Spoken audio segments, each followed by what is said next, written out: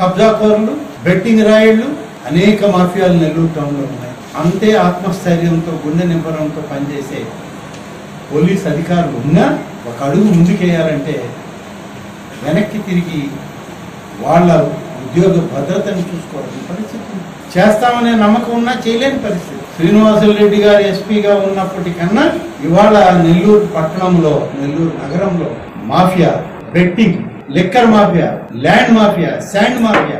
ఏ mafia కావాలి చెప్పండి? మీరు నెల్లూరు చూస్తే దొరకదు. స్వచ్ఛమైన తేనె కావాలంటే వెనటికి అడవికి రావాలి. నీకు ఏ రకం మాఫియా కావాలన్నా నెల్లూరు నగరంలో? ఏం పర్వాలేదు. మా నెల్లూరు నగర ప్రజలు అల్లాడుతున్నారు. చెప్పుకోలేక అల్లాడుతున్నారు.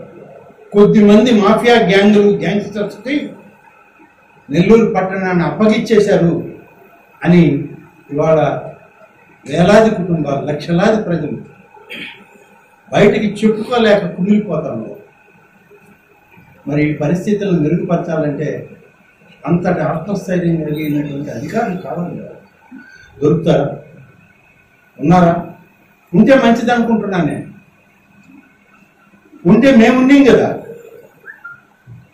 అటువంటి అధికారం ఎవరైనా వస్తే మేమున్నాం ఎమ్మెల్యేలు. వెంటనే అతనికి ఇక్కడి నుంచి వెళ్ళిపోవాలంటాం కదా. అట్ట ముగ్గురు ఎంపీ ముగ్గురు ఎస్పీలు మార్చేసాం కదా. ముగ్గురు నలుగురు. సంవత్సరం కూడా చేయని ఎస్పీలు ఉన్నారు నెల్లూరు జిల్లాలో గడిచిన ఐదు సంవత్సరాలు. ఏంటి కారణం? మా ఇంటర్ఫీరెన్స్ మా అంటే మా ప్రజాప్రతినిధి మా ఎమ్మెల్యే. గతంలో ఉన్న ఎప్పుడున్నా. ఇక ఎలా వ్యవస్థలు పనిచేస్తాయా? కాబట్టి వ్యవస్థలను పనిచేయనిస్తే ఇటువంటి ఆపడం సులభం. మాఫియాలకు అడ్డా అయింది. గతంలో క్రికెట్ బెట్టింగ్లు జరిగాయి భూమాఫియా జరిగింది అనేది ఆయన కామెంట్స్ ఇది ఒక వైఎస్ఆర్ కాంగ్రెస్ పార్టీ ఒక ప్రాంతీయ పార్టీ.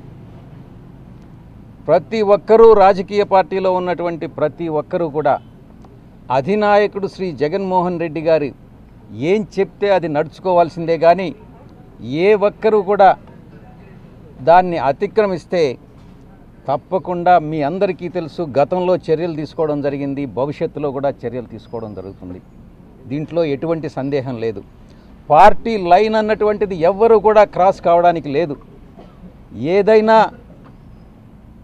ఎటువంటి అభిప్రాయ భేదాలు ఏదన్నా ఉన్నట్లయితే ఏదైనా ఒక ఇష్యూ మీద విభేదించినట్లయితే పార్టీ అధ్యక్షుల వారికి వచ్చి చెప్పాలే కానీ పత్రికాముఖంగా వెల్లడించడం అన్నటువంటిది సమంజసం కాదు.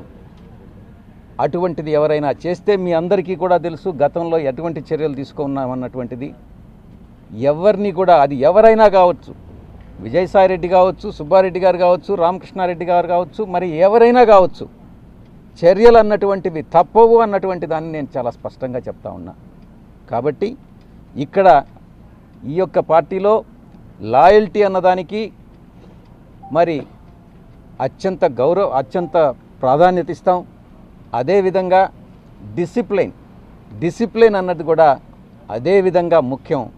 అప్పుడే రాజకీయ పార్టీకి మనుగడ ఉంటుంది కాబట్టి తప్పకుండా ఏ వ్యక్తి అయినా జవ దాటితే మాత్రం గీత దాటితే మాత్రం చర్యలు తప్పవు. ఈ వీడియో నచ్చితే ఓ లైక్ కొట్టండి. లేకపోతే కామెంట్ చేయండి. బట్ సబ్స్క్రైబ్ చేయడం మాత్రం మర్చిపోకండి.